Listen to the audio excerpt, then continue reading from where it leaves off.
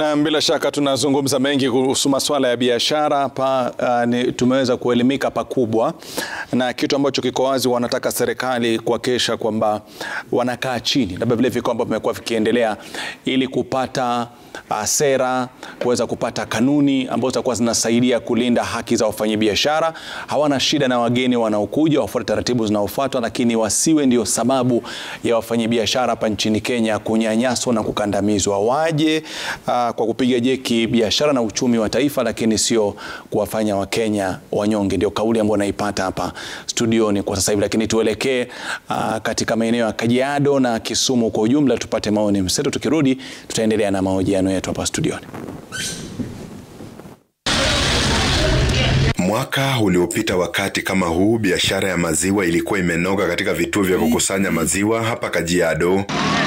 Lakini tangu kiangazi kilipobisha hodi, mambo yamebadilika. Vituo vya kukusanya maziwa ili kuuzia kampuni mbalimbali vimesalia mahame. Tulikuwa na seven main collection centers, kwa hivyo tulikuwa tuna collect maziwa karibu kaunti nzima. E, wakati ya peak season tulikuwa tuna collect mpaka hata 60,000 liters per day. Wakulima walihama kwenda areas mbalimbali, tukakosa masiwa ya kuuza.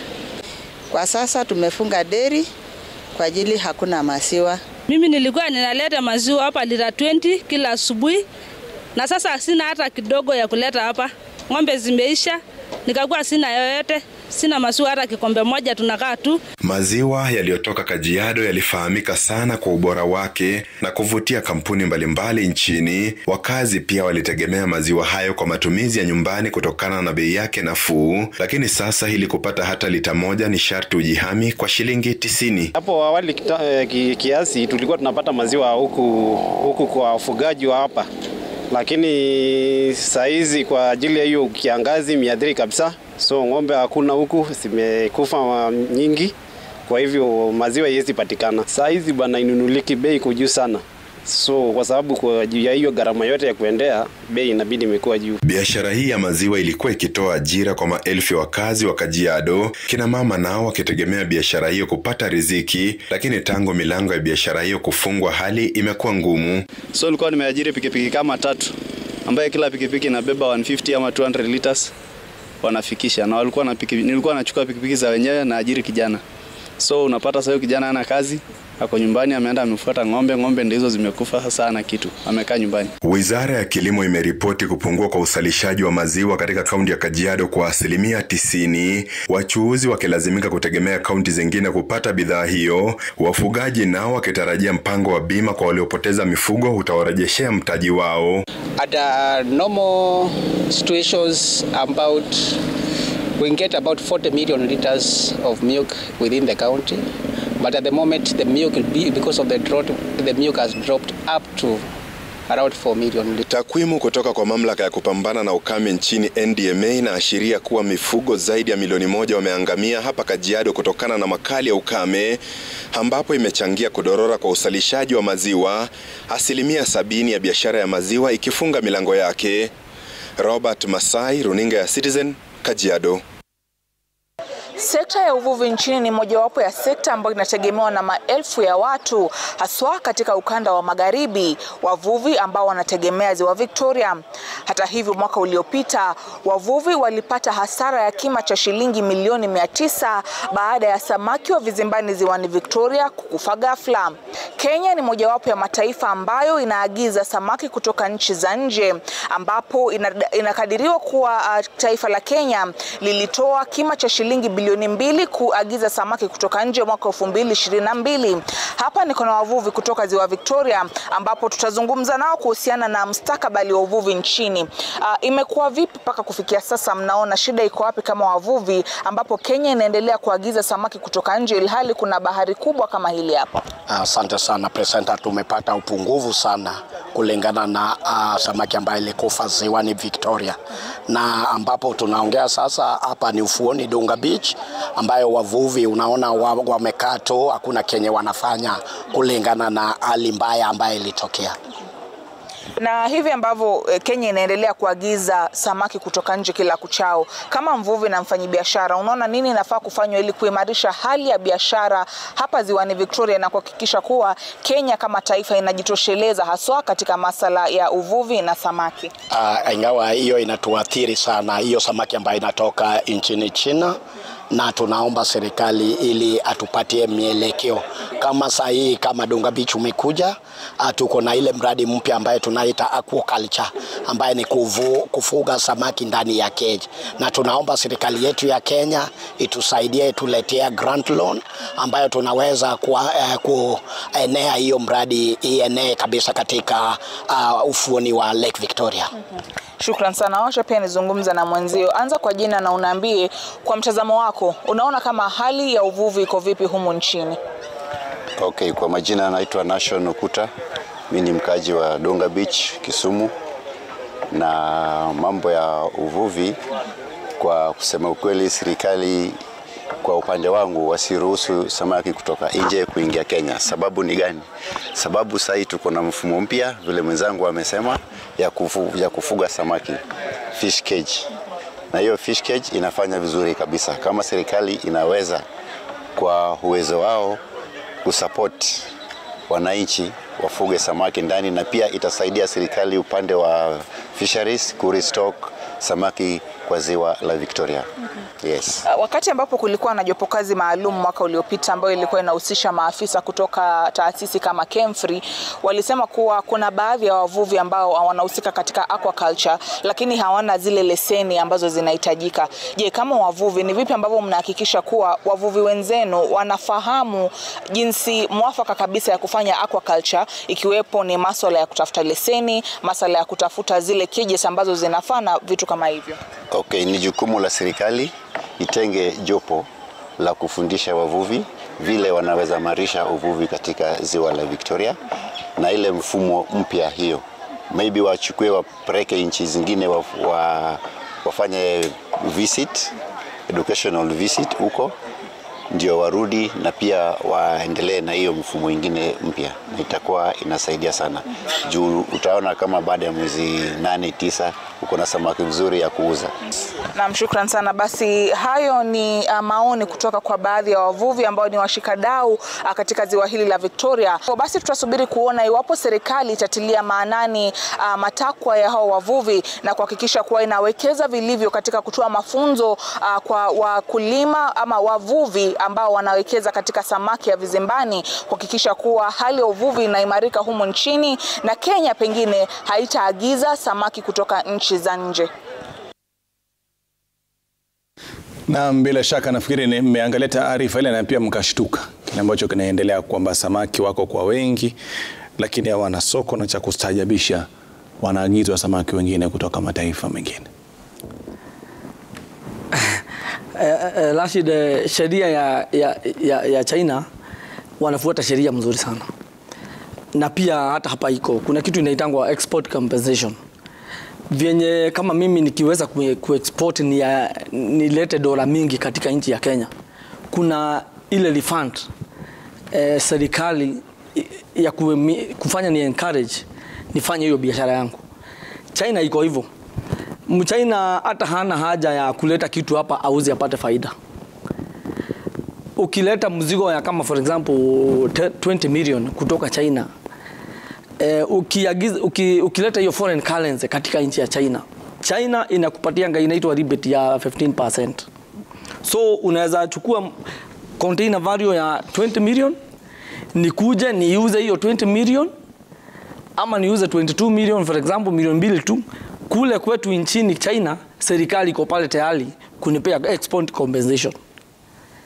That, hivyo ndivyo unaona Sema kwamba hilo inachangia watake kufanya biashara mataifa mengine mengi.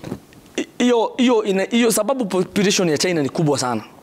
Inataka watu watoke huko nje wakuje wa, wa, wa, wa, wa, wa, wavurute eh, dola mingi zaidi zirudi kule kwao, na saa ingine hata kule bado kuko na hakuna kazi pia, so ina support kwenda ku create job nje, na hivyo ni kusema inawapea rebate wewe vyenye utaweza saidi, saidia huko kabisa.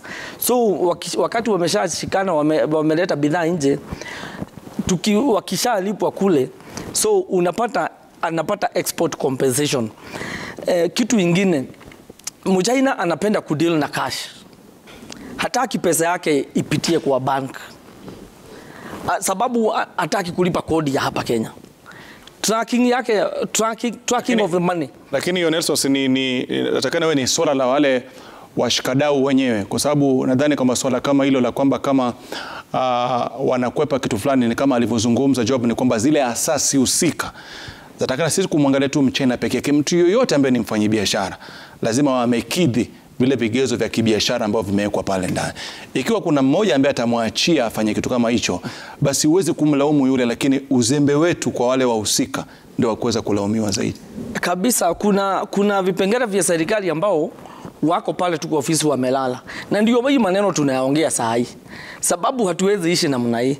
Tumekimya sana na wenye wanafaa ku, kufanya policing they know, lakini hakuna aidha hakuna kitu wanafanya, ama wakienda kwao wanachukua pesa wananyamaza, na mwananchi wa kawaida anaumia.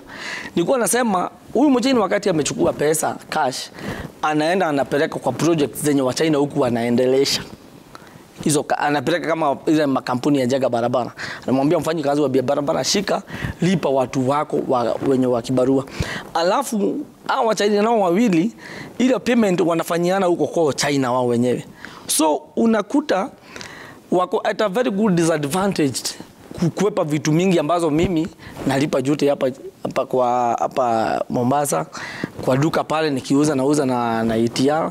Hizo vitu ndizo unaona sasa zinafanya, na uh, hatuwezi sema tunyamaze hizi vitu ati sababu kuna tunaongea mambo ya international. For example kama hii mambo ya hapa Kwa sababu kuna mtu anaweza kuwa mtu anauliza sasa hivi. Labda pengine pia nitakuuliza nitamuuliza juu. Kwa vile vitu ambavyo sisi tunapeleka mataifa mengine na sisi labda pengine mataifa mengine yametuona kupitia vyombo vya habari kwamba tumeandamana tumesema kitu fulani.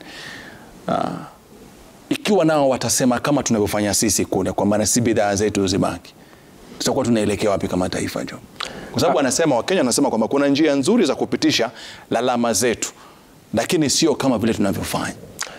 Naweza na, na, na, sema kama vile nilianzia. Tukitumia njia bora Sio kama unakubaliana na hilo? Yeah, yeah, yeah. Na- naweza sema tu vile nilianzia kusema lazima tufuate sheria vile ziko na nitapatia na a, a very good example kama wakati sasa tuko na shida na wenzetu uh, dada zetu kutoka Tanzania, Uganda.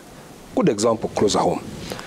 Kuna ile mikutano huwa tunakutana after, kama, kama, kama after three months ile kwenda kujadiliana na kuangalia mahali tuko na tatizo ya biashara. Uh, ikiwa ni vitu za Kenya ambazo zimefungiwa uh, zinaambiwa lazima zilipe pesa fulani Tanzania, tuna tunauliza kwa nini?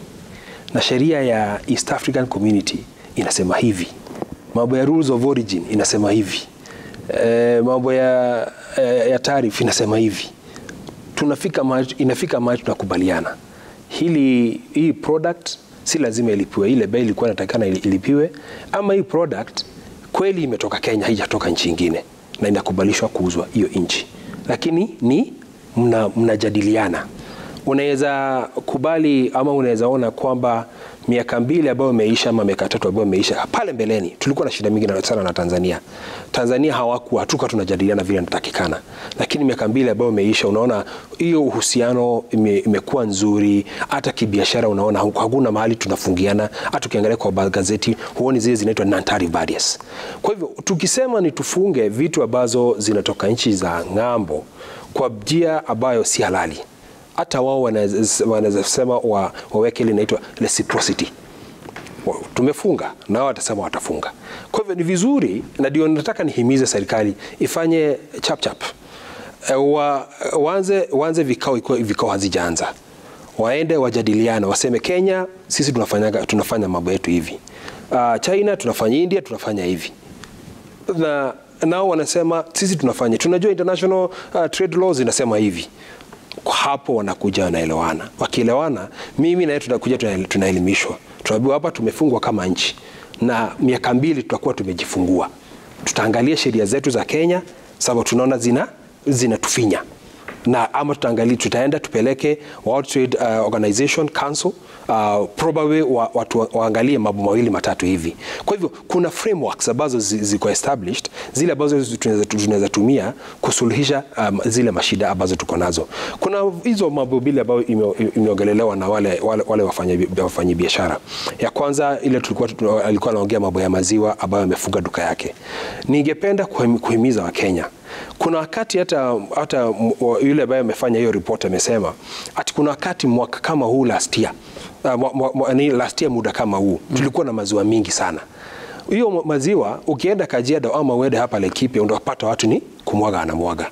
Kwa nini tusichukue hiyo maziwa alafu tuifanye iwe powder?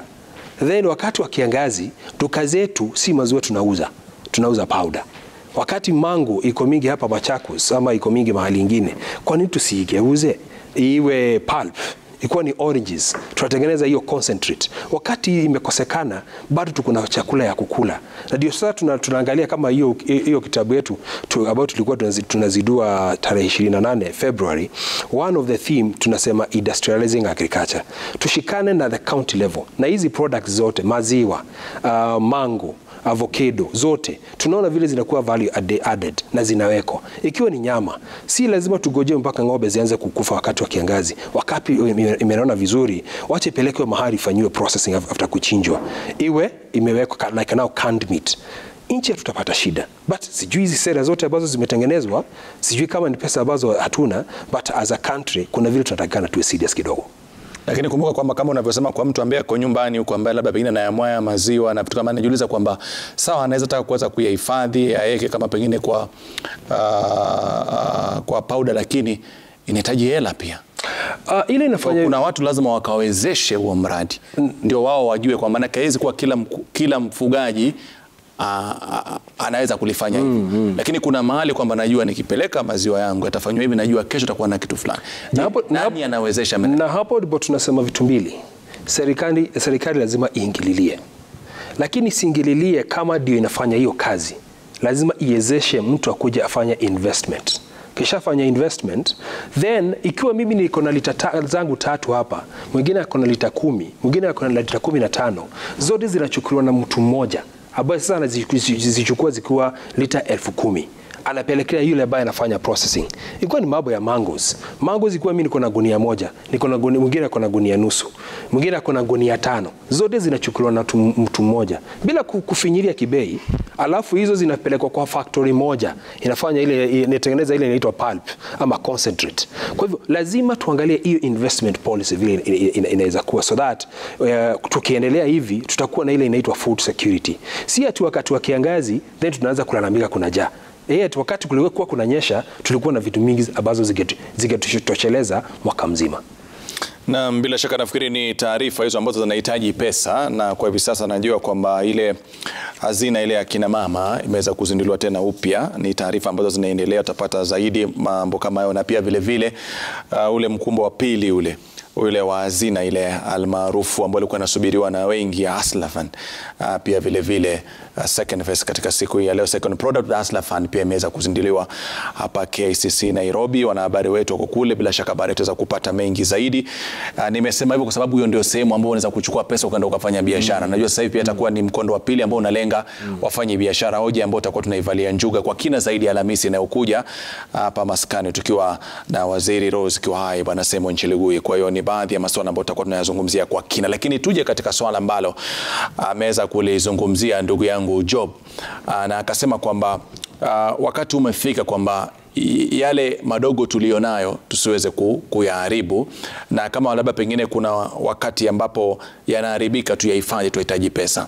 Kuna mtu ameuliza swali hapa kuhusiana na uh, nyinyi kama wenyekiti wa, uh, wa, wa biashara uh, wa masoko tofauti tofauti, akasema Rashid, uh, labda pengine kuisoma, alikuwa anazungumzia, anasema naam, anasema Rashid, wenyekiti wetu kuna mengi ambayo watakana watupiganie, na kesho tukipitia shida kama wafanyabiashara wa kulaumiwa ni hawa ambao walikutana na naibu wa rais, kwamba isiwe tu mmezungumza la Wachina peke yake, mna shida nyingi ambazo mnajua wafanyabiashara wadogodogo wanapitia. Je, mliziwakilisha jana?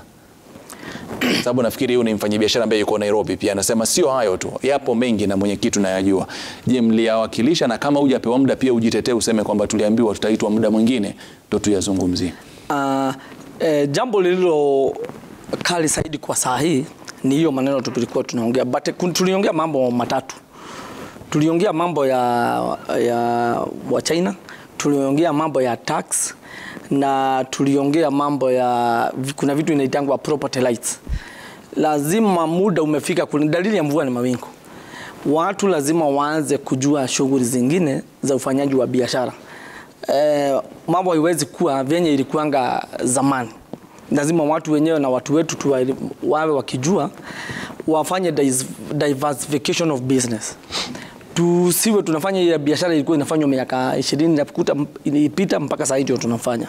So ningetaka kujibu huyo huyo mwenzetu ya kwamba tuliweza kuongea mambo mingi na ni mzuri sababu serikali yote ilikuwa pale na tuna, tuna kikao baada ya wiki tatu, sababu hatukupewa jibu jana ni kumaanisha kwamba tuliweza kuongea mambo yetu ya biashara yote, na ndio jibu haingeweza kutoka jana.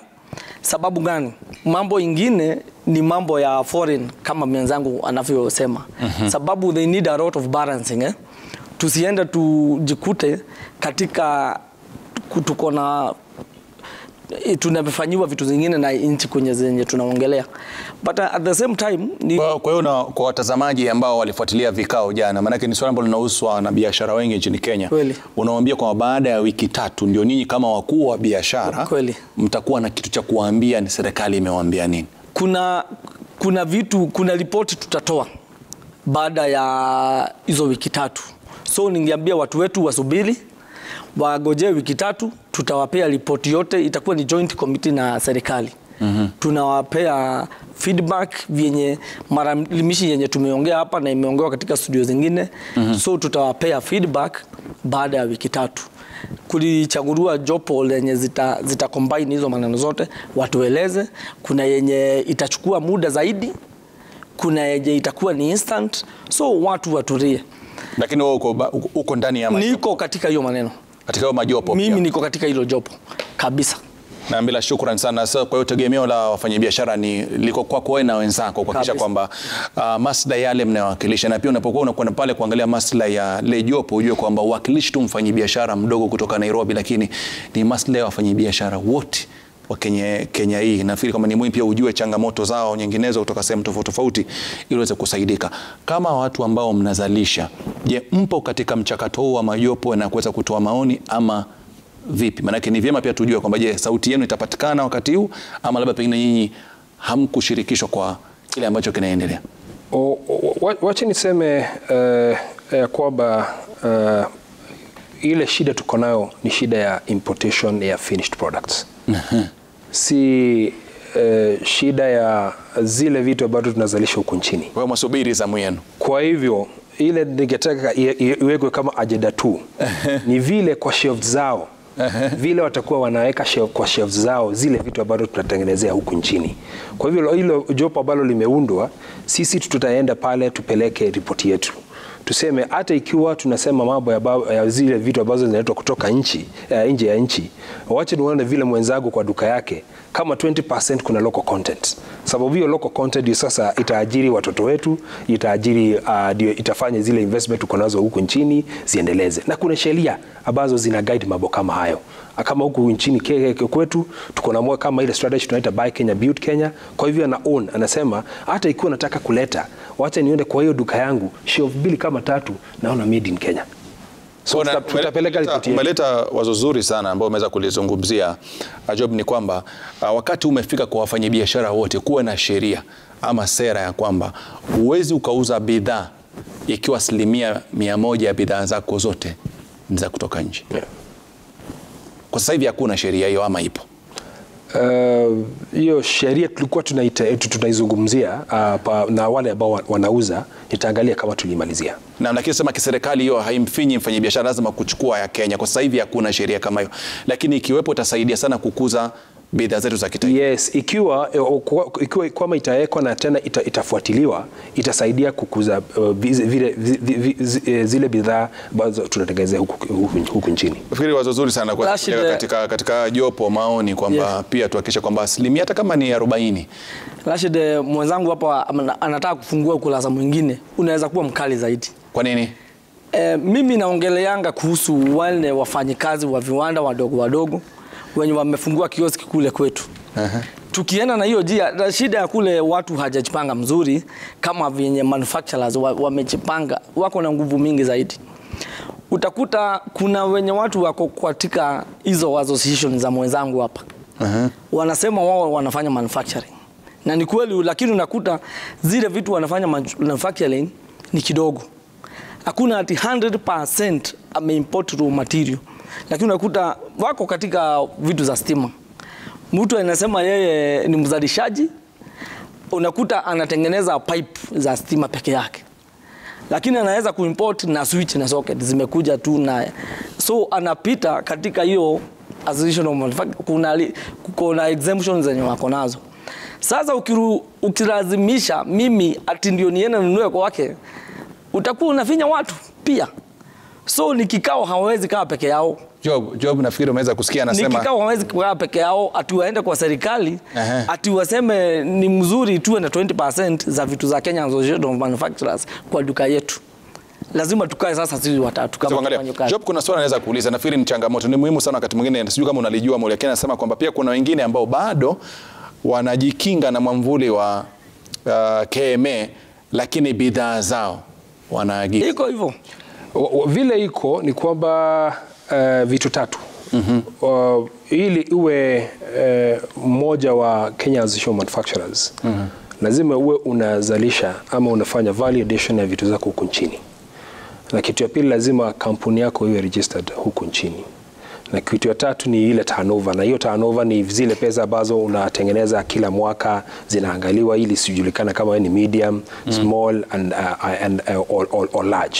Mm -hmm. Kwa hivyo hii, story ya kusema kuna hao ambao wanaleta wana, wana, wana ikiwa zikiwa finished product mm -hmm. alafu wako kwa hii mwamvuli yetu, hiyo si ukweli. Sisi tuko na conditions hizo tatu ambazo zinakuwaga very strict, na mtu ili awe admitted lazima ukaguliwa mpaka na the board, ukaguliwa mpaka na committee fulani, mpaka ionekane kweli uwe unafanya unafanya hiyo value addition.